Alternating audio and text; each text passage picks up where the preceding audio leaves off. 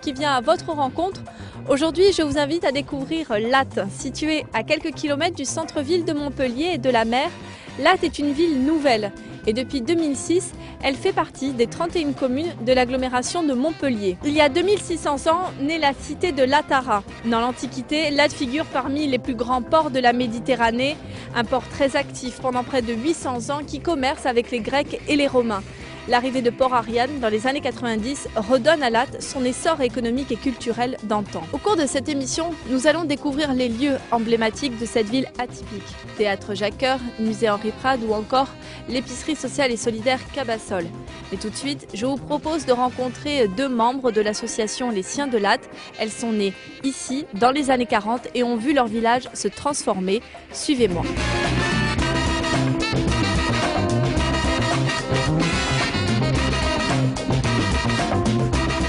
C'était en fait à, à l'époque Là, ce qu'on voit derrière nous, ça existait Ah non, Dans les années 50 à peu près des vignes. Il n'y avait que des vignes, ou peut-être euh, après les vignes, il y a eu, euh, mais Jeanne vous le dira mieux, mais Voilà, euh, disons que dans les années 80, 90, jusqu'aux années 90, c'était un domaine agricole. Ici, c'était des 50 hectares de vignes, de, de pommiers, de céréales. Donc euh, ce domaine, effectivement, euh, employait beaucoup de personnes de, de, Latte. Il y avait des ouvriers agricoles qui venaient travailler euh, tous les jours. Et à partir de, de 91, donc il y a le projet de Port Ariane qui est, qui est apparu, hein, puisque la municipalité voyant l'importance de population arrivée sur Latte, a voulu, si vous voulez, recréer un village.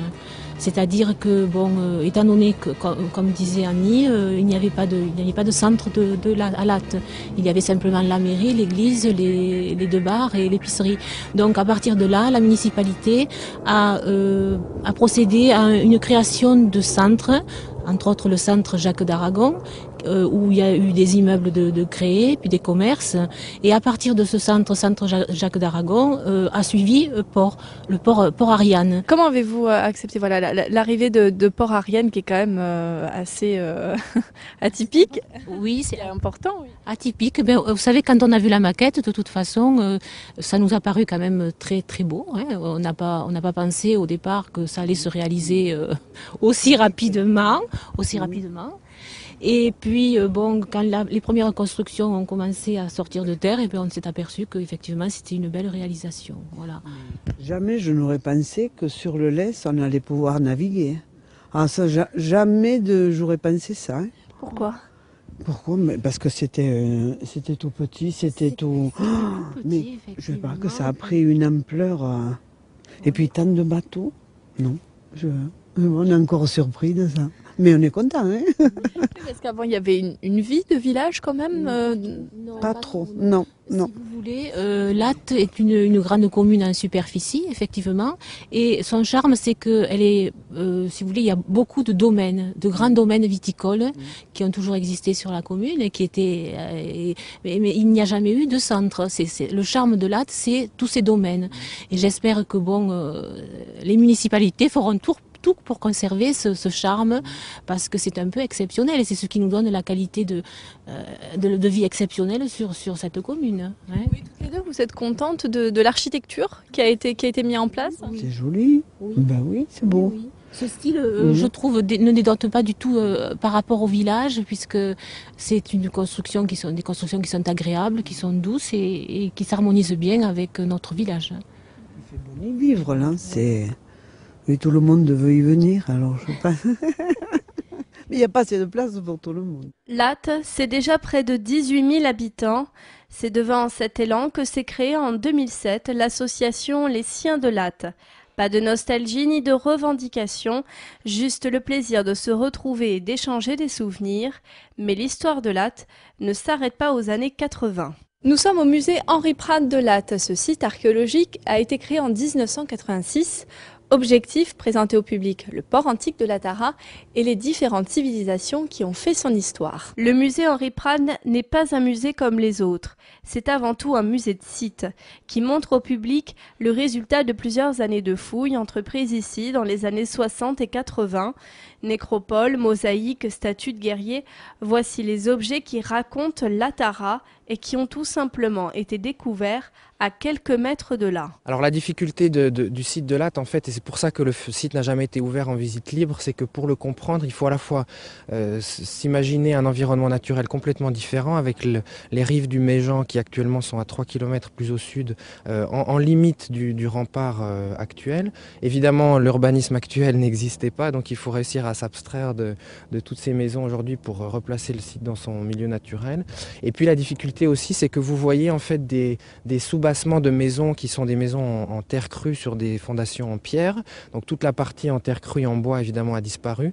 Mais ces fondations sont de différentes périodes. Donc il faut aussi réussir dans la mise en valeur à faire comprendre aux gens que même si aujourd'hui les choses ont été remises à peu près au même niveau, elles correspondent à des époques différentes puisqu'on a plus de 700 ans d'histoire sur ce site avec la grande chance, comme le site de Murviel, qu'aucune construction moderne n'est venue détruire les constructions anciennes. Hein, contrairement à Castelnau par exemple où aujourd'hui la ville euh, moderne est installé sur la ville euh, celtique et la ville romaine, ce qui fait qu'il est très difficile d'en avoir, euh, avoir euh, des fouilles, d'en avoir une, vue. La chance de Latte, c'est que tout, ce site a été protégé. Maintenant, pour le faire comprendre, pour faire comprendre aux gens où sont les rues, où sont les, différents îlots d'habitation, où sont les places, les accès au port, le rempart exactement, il y a tout un travail de mise en valeur sur lequel travaille intensément la région et qui est tout à fait nécessaire puisque on n'est pas sur un site romain comme Arles, Nîmes ou d'autres grands sites sur lesquels le monumental est conservé et les gens euh, se rendent compte immédiatement des élévations euh, d'un seul coup d'œil. Donc il y a tout un travail ici euh, d'explication, tout un travail pédagogique pour rendre la visite intéressante. Sinon on se promène dans un champ de,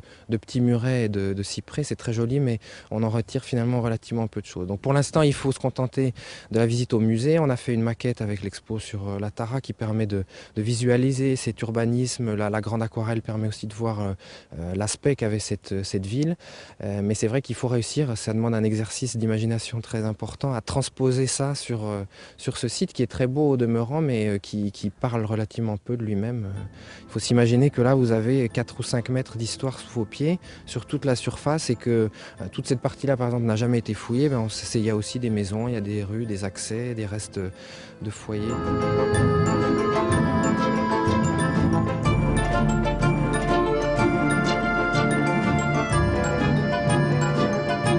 En dessous euh, du mas de Cosse. Là aussi, nous avons réalisé des fouilles préventives il y a deux ans. Et c'est là que nous avons découvert la fameuse collection des disques. Des disques euh, toujours inexpliqués, mais exposés dans l'exposition euh, actuelle que vous pouvez voir à l'étage en dessous. Des disques, pensons-nous, qui sont des, disques qui ont, très certainement servi à, euh, à la religion qui se pratiquait à cette époque-là. Mais euh, l'origine de ces disques est, encore à découvrir, donc euh, vous voyez, on est toujours dans un, dans un suspense, dans un suspense qui, nous tient, qui nous tient en haleine. Alors j'espère qu'un jour, toutes les explications seront données. 25 ans de fouilles intensives, 24 000 visites annuelles. Le musée Henri Prat de Latte compte bien rivaliser avec les autres musées de sites de France Objectif atteindre les 40 à 50 000 visiteurs par an. Pour cela, l'agglomération et la région n'hésitent pas à investir. Mais attention, la culture latoise, ce n'est pas seulement de l'archéologie, comme le montre la programmation du théâtre Jacques Coeur.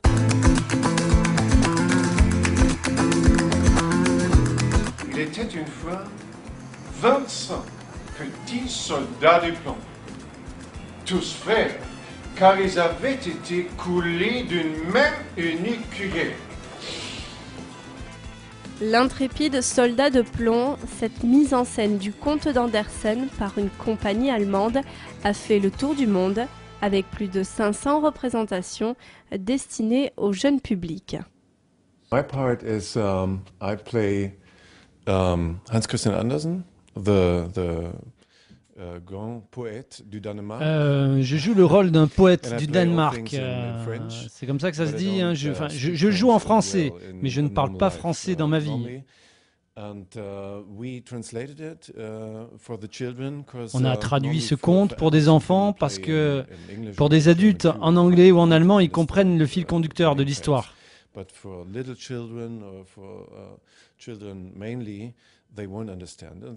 Par contre, pour les enfants, on a pensé que c'était mieux de faire une traduction en français. Donc, on s'est fait aider par une traductrice de Paris. On a travaillé dur pendant un an.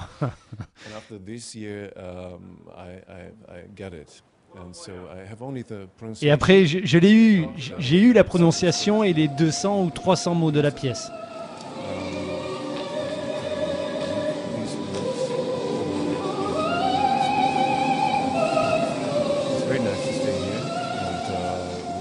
Et puis ici, c'est vraiment très sympa. On est impressionné par l'accueil et la situation. C'est vraiment très intéressant cette ville avec les alentours du théâtre aussi. C'est magnifique euh, et époustouflant.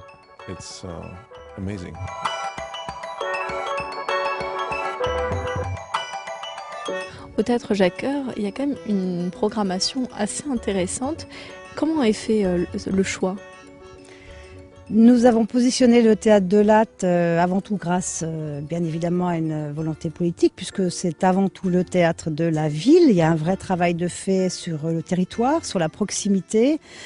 La ligne artistique porte sur des textes forts qui sont le, le dénominateur commun de tous nos spectacles, qu'il s'agisse de textes du répertoire ou de textes d'auteurs contemporains, et je précise aussi d'auteurs vivants c'est important aussi d'être représentatif de l'écriture euh, contemporaine d'auteurs euh, vivants, euh, reflet de la société actuelle dans laquelle nous vivons. Alors comment on arrive quand, parce que Latte bon, reste une ville de, province, donc qui fait partie de l'agglomération de Montpellier, et ça fait partie quand même des hauts lieux culturels de l'agglomération. Je crois que nous avons défendu un pari euh, qui pouvait sembler peut-être effectivement assez fou au départ, euh, étant donné le territoire, qui était tout d'abord de, porter notre action au plus proche de la création artistique. Et le théâtre de Latte se veut profondément proche des artistes, euh, raison pour laquelle donc des artistes régionaux bien sûr, mais également de renom, ont à cœur de euh, soutenir notre projet, porter notre projet, de venir créer à l'AT, euh, même si effectivement euh, on pourrait imaginer que les créations de ces artistes-là, de cette envergure, puissent se faire ailleurs.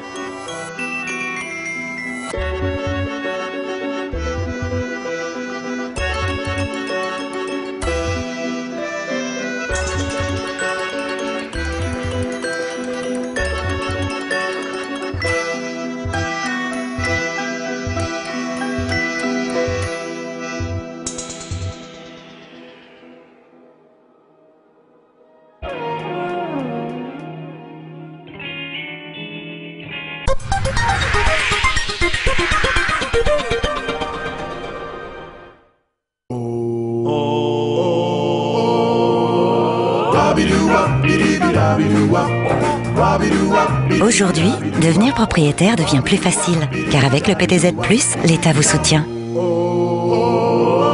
Le PTZ, un prêt à taux zéro accessible sans condition de ressources. Calculez le montant de votre PTZ sur ptz-plus.gouv.fr. Obalia, premier spa thermal de Méditerranée. Découvrez notre espace Magie de l'eau avec ses 1500 mètres carrés en extérieur dans une eau à 34 degrés. Le grand soin d'amour profitez de la Saint-Valentin pour vivre un moment unique en duo où plaisir, détente et gourmandise font battre vos cœurs à l'unisson. Le soin comprend un gommage et un massage en duo ainsi qu'un accès de 1 heure à l'espace Magie de l'eau. Prix 85 euros pour 2 heures de soins et de plaisir. Alors n'attendez plus et profitez de cette offre exceptionnelle. Obalia, à Ballaruc-les-Bains, à côté des thermes Les Hespérides. Ouvert toute l'année, 7 jours sur 7. Plus d'infos sur obalia.fr ou par téléphone au 04 67 185 205.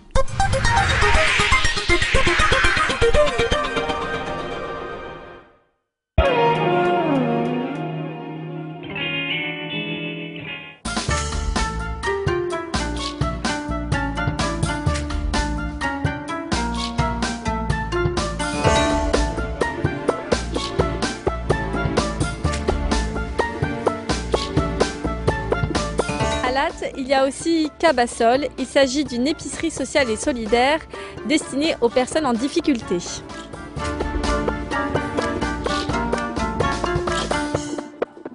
Expliquez-nous pourquoi il était important ici à Latte d'avoir une épicerie sociale et solidaire. Parce qu'il y a sur la commune des personnes en difficulté, en difficulté financière, des, demandeurs d'emploi, des personnes en activité aussi, en activité à temps partiel, ou bien il arrive aussi que ce soit des familles monoparentales. Et l'ensemble des charges euh, très importantes par rapport, euh, par rapport aux, revenus. Donc euh, on, a, on a pas mal de familles aussi en difficulté. Et les courses représentent un budget assez important dans le mois. Donc euh, ici, ils peuvent déjà alléger un petit peu leur budget et s'en sortir un petit peu mieux financièrement.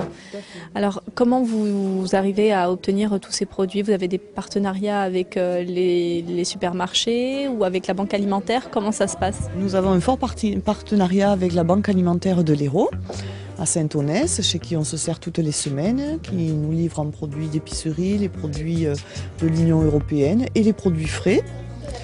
Ensuite, nous avons également des financements avec euh, l'ANDES et le CCAS pour la plus grande partie du financement où nous achetons euh, sur euh, les grandes surfaces de la, de la commune, aux alentours, en faisant des consultations deux fois dans l'année et chez qui nous nous servons ensuite deux à trois fois dans l'année. Dans les mêmes locaux, le CCAS de Latte s'occupe aussi d'Action, une association qui vend des vêtements à petit prix. Avec l'argent récolté, les bénévoles aident les uns à payer leurs factures, les autres à boucler leur fin de mois. Beaucoup de latois qui viennent ici? Ah oui, oui, oui, ah oui. Et, voyez là, et nous faisons deux braderies par, euh, par mois. Et la dernière braderie, quand même, on a, on a fait plus de 160 euros quand même. Alors ça nous permet vraiment d'aider euh, d'où viennent les vêtements qui sont ici? Alors, ce sont les gens, tous les gens qui nous apportent des vêtements, euh, même la, la, brocante, on a beaucoup de vaisselle, on a des chaussures, de tout. Ce sont des gens, nous n'achetons rien. Hein. Ce sont des gens qui apportent, euh, qui nous donnent. c'est tout bénéfice pour nous. Hein. Vous, en tant que bénévole, vous, rangez les, vêtements Oui, on trie beaucoup. Et tout ce qu'on ne peut pas vendre, parce que les gens, quelquefois, sont invendables, on, on, le donne au relais. D'ailleurs, nous avons des, des, poubelles là que nous remplissons et le relais passe tous les mardis et eux ont vraiment une structure, eux, ils recyclent.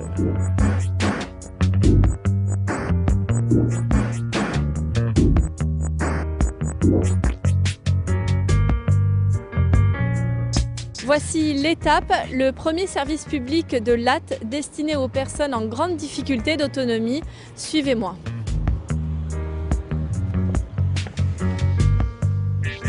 Catherine, à l'étape, qu'est-ce qu'on peut voir? Donc à l'étape, on montre euh, du matériel de toutes sortes, euh, d'aide à la vie quotidienne. Donc euh, ça peut être des petits gadgets qu'on trouve partout, comme un ouvre-bocal qui est derrière moi par exemple, ou comme ça peut être du matériel spécialisé qu'on a vu tout à l'heure autour de la douche. Hein, du matériel pour aider les personnes à se lever, du matériel pour les loisirs, des aides au repas. Donc voilà, toutes sortes de matériel.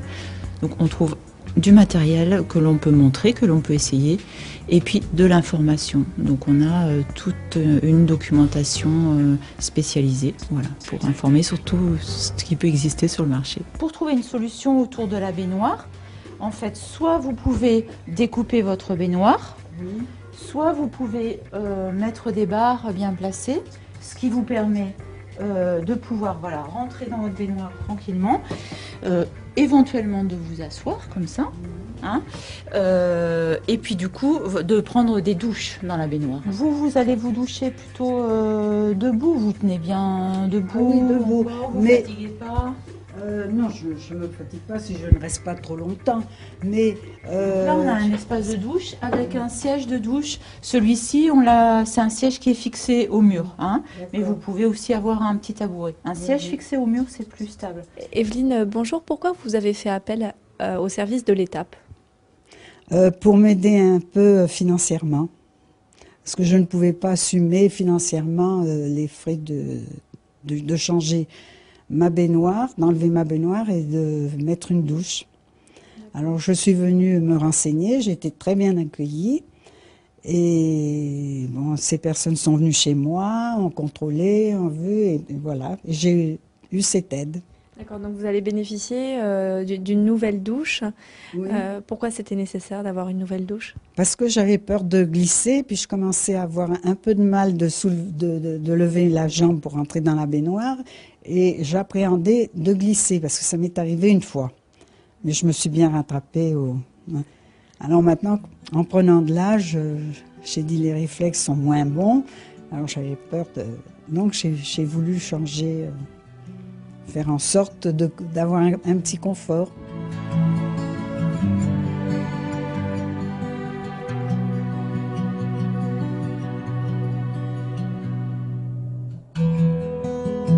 Nous quittons le centre-ville de Latte, à la découverte d'une autre richesse, celle offerte par la nature des étangs du Méjean. Situé à quelques pas des habitations, le lieu offre la toi un espace naturel unique, coupé du carcan urbain. 200 hectares de marais, 450 hectares d'étangs. En acquérant cet espace dans les années 80, le Conservatoire du littoral a voulu préserver la biodiversité. En 2009, 2,5 km de sentiers, une partie en bois, l'autre en minéral, ont été complètement réaménagés afin d'accueillir les personnes handicapées. Depuis un an, cette animatrice mène un projet avec un institut médico-pédagogique. Là, tu vois l'eau? Oui. Et si on tourne un peu suis les jumelles, regarde. Hop, si on tourne un peu par là. Oui, c'est bon, s'il te plaît. Est-ce que tu vois quelque chose? Oui. Mais c'est la cigogne Non, peut-être pas encore. Pas encore, mais tu vois un peu quelque chose Oui. D'accord. Donc tu vois, il faut que tu lèves la tête pour observer. Parce que si tu observes, là, tu vas observer ici. D'accord? Tu essayes toute seule? Non, d'accord. c'est dur, hein? Lève ta tête. Je vois pas ce que c'est. Eh ouais, regarde, parce qu'il faut bien regarder dans les trous. C'est dur de travailler avec euh, des personnes en situation de, handicap? Euh, bah oui et non. Enfin, c'est plus compliqué, mais en même temps, ça pousse à chercher des solutions et puis c'est enrichissant aussi euh, au niveau. Enfin, on n'a pas les mêmes objectifs, disons. Des fois, il y en a, ils parlent jamais et pendant nos animations, bah, ils vont dire un mot et déjà, enfin, c'est un objectif immense pour pour eux et pour nous, quoi. Donc c'est vrai qu'on n'a pas tout à fait les mêmes objectifs que vraiment de l'éducation à l'environnement, où ça va être euh, plus le côté scientifique, voir que les enfants ont, des enfin, ont appris des choses. Là, ça va être plus sur le comportement en fait. D'accord. En quoi le site naturel euh, du Méjean est-il euh, important pour des activités Quelle est sa richesse? Ben, c'est que ça les plonge dans un milieu où, où justement leurs sens sont un peu en éveil. donc, donc voilà c'est vrai que puis ils sont, au calme, ils sont pas dans, dans l'agression. Enfin, un milieu comme la ville peut être agressif pour eux, que là ils sont quand même au calme.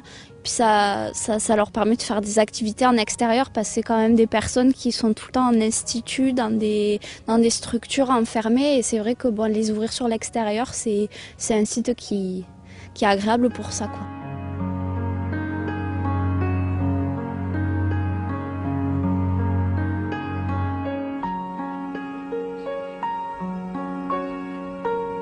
Derrière nous, euh, qu'est-ce qu'on peut voir là comme, euh, comme flore? Alors derrière vous, vous pouvez voir des. Ça, c'est de la roselière hein, qu'on appelle. Alors ici, nous avons euh, quelques zones de roselière. Nous avons à peu près. Ça doit représenter sur le site la roselière à peu près une vingtaine d'hectares. Hein, sur les 200. Et c'est une, la roselière est quand même très intéressante pour certaines espèces d'oiseaux qui peuvent s'y réfugier ou se, ou se reproduire. Hein. On avait le butor étoilé par exemple. On a les ronds pourprés de temps en temps qui sont dans ce genre de, de, milieu. Et d'après ce milieu, vous avez d'autres milieux aussi, hein, qui sont par exemple les sensuires, où là vous avez euh, des présalés aussi, où vous retrouvez des espèces comme euh, là quand ils viennent, euh, quand arrivent en période de nidification, les échasses blanches, tout ça, qui viennent se reproduire sur ces milieux-là. Ici, on a la chance d'avoir je dirais pas autant d'oiseaux qu'en Camargue, puisqu'on est un peu la queue de la petite Camargue, mais on a une diversité d'oiseaux aussi grande qu'en Camargue. Alors on n'a pas les quantités, c'est vrai, mais on a quand même beaucoup d'oiseaux. Par exemple, sur le site, nous avons à peu près 190 espèces d'oiseaux qu'on peut voir. Bon, on ne les voit pas tous les jours, puisque vous avez comme en ce moment les cigognes qui viennent d'arriver pour se reproduire. Vous avez d'autres espèces qui viennent plutôt dans l'hiver, d'autres plutôt au printemps pour se reproduire. Il ne faut pas oublier quand même que c'est des zones de reproduction hein, qui sont au niveau de la nidification des zones très importantes. C'est pour ça que nous, dans ces périodes-là, on a des réglementations assez strictes sur le site. C'est normal, hein, puisqu'il faut laisser ces oiseaux qui parcourent des fois des, des dizaines de milliers de kilomètres pour venir se reproduire et qu'ils aient une chance de se reproduire. Voilà, c'est ça aussi euh, la chance qu'il y a d'avoir des sites comme ça, des grandes zones comme ça de reproduction. Alors en quoi euh, le site naturel du Méjean euh, est un haut lieu de, de Latte? Parce qu'il y a beaucoup de gens qui viennent et puis ça fait partie des, des- endroits clés de la ville. Oui, je pense que le site, c'est vrai que les Latois ont la chance d'avoir un patrimoine aussi exceptionnel, je veux dire, aux portes, euh, à la portée, je veux dire, c'est à 500 mètres, vous avez des, habitations, vous avez des gens qui viennent à pied de latte et qui viennent découvrir cet espace. Moi, je crois que c'est une chance inouïe pour tout le monde. L'autre fois, j'en parlais avec le président de la société de chasse aussi, un chasseur qui s'en va de chez lui à pied pour venir le soir à la passée tirer quelques canards, c'est une chance inouïe, tout le monde n'a pas cette chance. Alors c'est vrai que c'est un patrimoine qu'il faudra préserver dans les années à venir parce qu'on sait qu'il y a quand même une urbanisation qui va se faire et qui va être assez galopante aussi au sud de Montpellier. Bon, il faut faire se donner, je pense, tous les moyens pour euh, justement préserver ce patrimoine. C'est pour ça que je dis aux Latois, euh, ce site ne nous appartient pas à nous, qu'on est là en permanence en train de, de le protéger, mais il vous appartient à vous. Et c'est vous, avec vos petits-enfants et vos enfants, que dans le long terme, il faudra prendre le relais et se battre pour préserver ces espaces-là et les garder tels qu'ils sont.